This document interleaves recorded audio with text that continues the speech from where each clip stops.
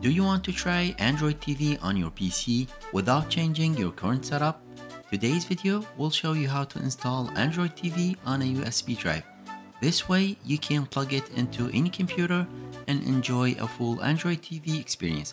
Sound exciting, right? Let's get started. First, we need to download the Android TV ISO image file. You can find the link in the video's description. This is the Android TV ISO we'll be using for the USB drive.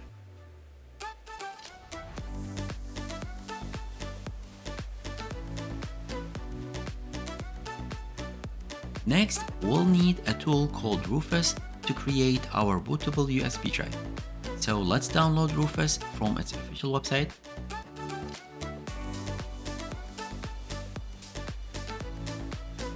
Once it's downloaded, let's double click on the exe file to open it. Select your USB drive from the device drop-down menu, then choose the Android TV image file you downloaded. Now just make sure to set up the file system to FAT32 and then click on the start button. And just wait for Rufus to finish. Once the process is complete, you'll have a bootable Android TV USB drive. But we're not done yet. The Android TV user USB drive includes a compressed data file of 4GB that needs to be extracted to the same location. You can use tools like WinRAR or 7-Zip for this. Simply right-click on the file and select Extract here. After extracting, you should see a data.image file.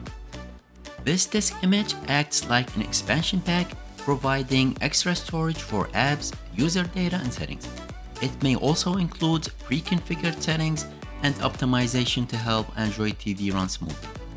Now let's go ahead and restart your computer and enter the BIOS settings.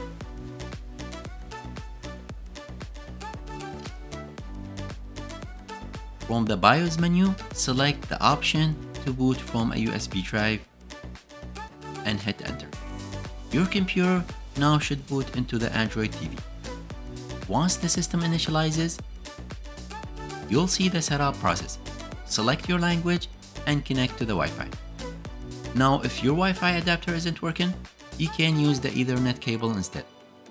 After connecting, just choose Virtual Wi-Fi to get online. When prompted, select Android TV and press Escape on your keyboard to skip this screen.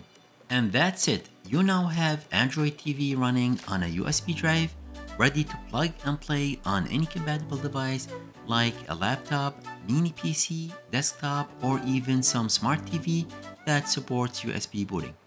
You can stream content, install apps, and even play Android games just like any Android TV box. If you found this video useful, please like and subscribe for more content like this. Bye for now. Bye.